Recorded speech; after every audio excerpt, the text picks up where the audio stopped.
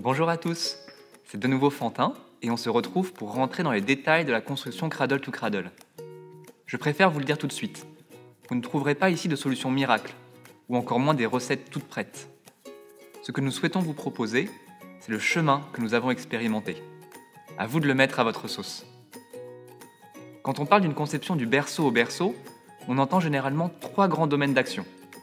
Le bâtiment, dans sa structure et sa conception, l'énergie, les ressources et la biodiversité qui créent un site à empreinte positive, et enfin la focalisation sur les utilisateurs, leur confort et leur bien-être. Mais remettons les choses dans le bon ordre, car le bâtiment reste un moyen au service de ses occupants, et pas l'inverse. Le premier travail avec les utilisateurs s'appelle la maîtrise d'usage. C'est là que tout se joue. C'est aller chercher le besoin de chaque personne, le fonctionnement des équipes, et tous les rouages implicites qui donnent une bonne ambiance au lieu. Concrètement, il y a des besoins universels. Des vues sur l'extérieur, une lumière naturelle diffuse et régulière, un espace tempéré, une qualité d'air idéale, un bruit le plus faible possible. Mais aussi des besoins plus spécifiques. Chez nous, par exemple, une diversité d'espaces adaptés.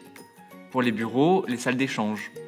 Des flux organisés pour permettre de se croiser régulièrement et créer un climat de rencontre des espaces plus intimistes par exemple. Et à partir de là, on commence à avoir des choix techniques qui se dessinent. Des plafonds acoustiques, mais aussi des matériaux sains qui ne dégagent pas de composés organiques volatiles. Des ouvertures bien placées sur un extérieur paysager. Des ventilations double flux silencieuses et performantes. Des matériaux chaleureux qui donnent un sentiment de confort visuel ou tactile. Ou encore des espaces communs qui donnent envie de s'y attarder.